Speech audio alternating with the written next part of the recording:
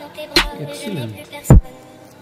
Ne laisses pas ton odeur imprégner mes Wow, draps et si tu m'abandonnes,